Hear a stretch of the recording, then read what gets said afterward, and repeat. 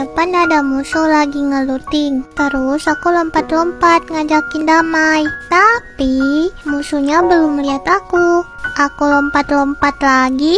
Eh ditembak pakai shotgun. Tiba-tiba di depan aku ada musuh baru. Terus dia nembakin musuh tadi. Mati deh. Aku lompat-lompat ngajakin damai. Eh dia malah joget.